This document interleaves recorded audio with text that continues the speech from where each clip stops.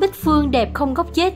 Dù được xem là gầy trơ xương, không chỉ ngày càng thăng hạng trên con đường âm nhạc, Bích Phương còn ghi dấu ấn mạnh với ngoại hình mượt mà nhờ việc giảm cân xuất sắc.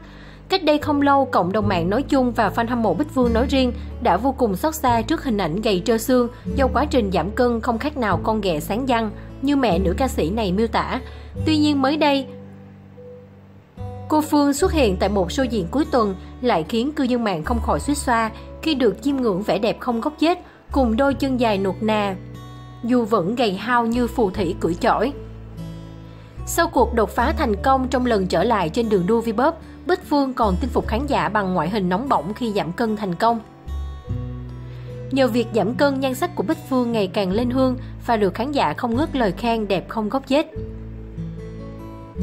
Hình ảnh mới nhất của con ghè sáng giang Bích Phương khiến fan không khỏi mát lòng mát dạ vì thần tượng ngày càng đẹp lên trông thấy.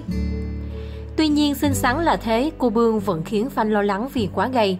Trước đó không chỉ mẹ ca sĩ này xót xa khi cô cao 1m68 mà chỉ nặng chưa đến 47kg, mà fan cũng sốt ruột vì hình ảnh gầy gò của Bích Phương nên quyết cùng nhau thay vì tặng hoa thì gửi đồ ăn để tẩm bổ cho Bích Phương. Fan lầy lội tặng núi thức ăn để Bích Phương ăn lấy sức tiếp tục giảm cân.